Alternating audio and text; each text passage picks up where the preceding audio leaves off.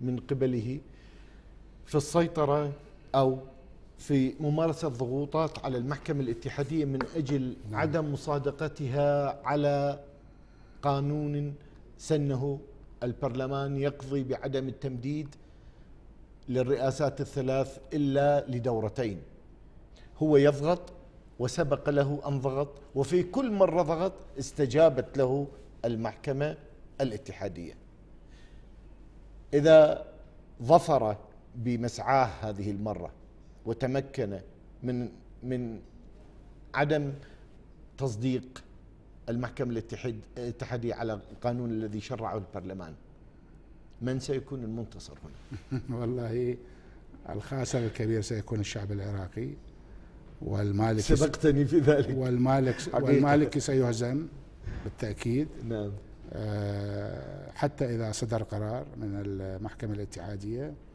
وهذا يدلل الذهاب إلى المحكمة الاتحادية يدلل على عدم احترام مجلس النواب الذي قرر بالإجماع تقريبا ال 175 أو 78 صوت من مجموع 210 عدم التجديد والسماح لرئيس الوزراء مجلس الوزراء.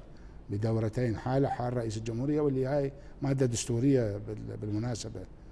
أنه ما لرئيس مجلس الوزراء ما لرئيس الجمهورية ينطبق على رئيس مجلس الوزراء. يعني إذا رئيس لكنهم يقولون بعدم دستوريتها حتى إذا افترضنا لا هي دستورية هاي موجودة مادة بالدستور. بس حتى إذا افترضنا مو دستورية. مجلس النواب هو هو المجلس المخول أن ينظر بهذه الأمور. ومجلس النواب قال كلمته بوضوح. فحتى ادبيا واحتراما لقرار مجلس النواب اللي هو قرار يفترض الشعب العراقي ما يطلب إلى إلغاء الدور هذا. وخلاص يسلم السلطة إلى إلى من يليه. مثل ما سويت آني مثل ما سوى غيرنا يعني ما بها يعني هو الديمقراطية هو الانتقال السلمي للسلطة. نعم. هاي من من عناوين الديمقراطية الرئيسية. بينما الرجل مو التمسك بالسلطة. يقال إن الرجل قال من ننطيها هذا هذا معناه وبطريقه ديمقراطيه هذا هذا حتى إن اليوم في مواقع في موقع التواصل الاجتماعي الفيسبوك تجد كثير من الصور آه، التي يستخدمها العراقيون تشير إلى أن الرجل يقول ما ننطيها يجوز ما يعطيها بس بالنتيجة ما أعتقد راح يقدر يوقف بوجه الشعب العراقي. في في فيما خص هذا الجانب دكتور الحقيقة يقال إن الرجل اليوم حول موارد الحكومة إلى نوع من المكرمات لجهة التعيين وإلى آخره. ميزة العراقي للأسف لا يعتبر أن تعيينه أو تعيينه هو حق له وإنما يتوقع أن الحكومة تكرمت عليه وبالتالي يصبح هو وكأن رقبته يمسك بها رئيس الحكومة. ويصبح مش ما يشبه يشعر بالدين الثقيل عليه لأن السيد رئيس الوزراء نور المالكي عينه. من هنا لم تعد المرجعية تمتلك نفس القوة على المواطنين لم تعد القوة السياسية الأخرى تمتلك نفس القوة التي يمتلكها المالكي. من الذي يضمن أن المالكي سيكون هذه المرة قابلا بأي توجه من قبل التحالف الوطني الذي سماه لرئاسة الوزراء في حال تسمية بديل عنه؟ ما أعرف إذا يقبل أو ما يقبل هذا شيء راجع للتحالف وراجع للقوى السياسية العراقية. بس اللي أقدر أقوله أنه الأمور ماشية باتجاه عام بالعراق آه لرفض الاستحواذ بالقرار ولرفض الهيمنة على السلطة والاستمرار بالسلطة. ولا سمح الله التمسك الأعمى بهذه المراكز المختلفة قد يقود إلى انفجار سياسي كبير في البلد اللي هو أساسا متفجر الآن فإحنا ومن من عندنا هو السيد المالكي علينا أن نتحرك بما تملي علينا ضمائرنا نعم. في دعم العراق والشعب العراقي ومسيرة الشعب العراقي لبناء دولته المدنية. بغض النظر عن من يكون صاحب القرار إحنا تنازلنا له مقابل شراكة وطنية اللي ما نفذها. وإنما أراد التنازل وتنازلنا وبضغط طبعا ووعود من الولايات المتحدة الأمريكية وبضغط إيراني لكن لم ينفذ أي شيء. مع المكرمات وتوزيع مكرمات هذا هم شيء قصير النفس. ينفع مع فلان لا ينفع مع فلان. وأسلوب استعمل من قبل كثير من الحكام بالسابق وما مشى ما نجح يعني. هو ما ما ما سينجح هو احترامه للقوى السياسية واحترامه للشعب العراقي واحترامه لقرارات مجلس النواب. أنا أتذكر يعني من صار اجتماع في مجلس الحكم الانتخابي لانتخاب رئيس وزراء وانتخبوني قلت لهم لو شخص من أعضاء مجلس الحكم رافض أنا ما أصير ما اقبل أصير رئيس للوزراء.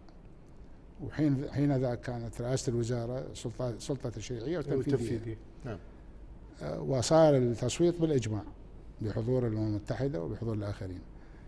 فمن أكو رفض لرئيس وزراء ورئيس مجلس وزراء من أجزاء مهمة صوتت في مجلس النواب 170 أو 178 صوت من 210 على أن لا تجدد مرة ثالثة. المفروض هذا يحترم الرأي والمفروض يترك الأمر. أي رئيس وزراء كان المالكي أو غيره من الأشخاص. هذا حين ذاك سيخلد اسمه. يعني التاريخ من يكتب راح يكتب من سلم السلطة من فعلا حاول أن يبني دولة مدنية ومن حاول الاستئثار بالسلطة. وتعرف كنا إحنا سائرين إلى الزوال. ما يبقى بس الاسم وما حقق الإنسان في حياته. لهذا أنا أعتقد السلوكيه الآن يعني هي سلوكيه لا تصب في مصلحة العراق سلوكيه أدت إلى قيام دولة فاشلة بامتياز الآن وهذه الدولة الفاشلة هي بسبب سلوكيه الحكومة الحكومة الحالية ورئيسها. يعني وإن كان الوقت أدركنا للأسف دكتور أشرت إلى جانب يعني مهم في جوهره الإنساني حقيقة ألا وهي إشارتك إلى أننا كلنا زائلون ويجب أن نترك الأثر الحسن. نعم.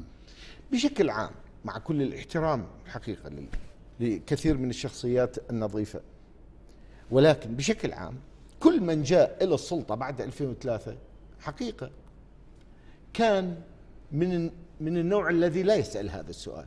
جاءوا من أسفل السلم الاجتماعي في الوجاهة وفي الجاه ليصبحوا في أقصى أقصاه في فترة قصيرة.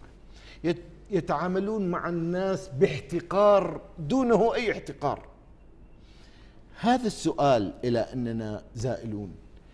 كيف تحول هؤلاء الناس إلى هذه السطوة؟ من الذي انتزع من قلوبهم الرحمة؟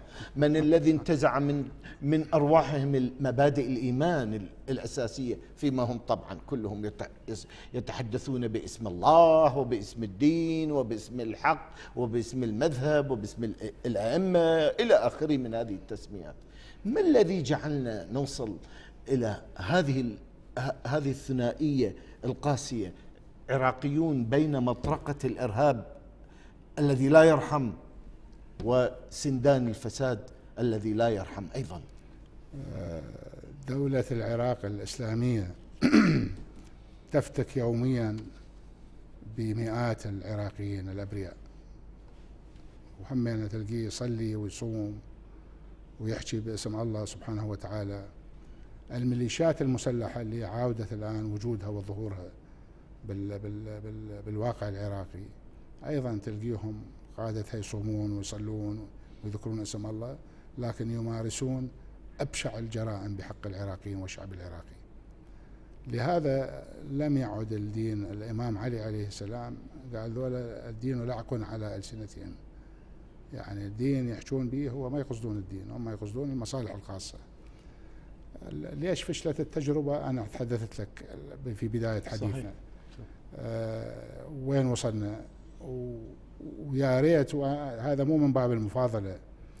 آه، أنا شخصيا من تأخر تشكيل الحكومة بعد الانتخابات اللي أنا أشرفت عليها واللي كانت انتخابات نزيهة بامتياز ورفضت أدخل في أي تكتل طائفي وعرض علي هذا الأمر.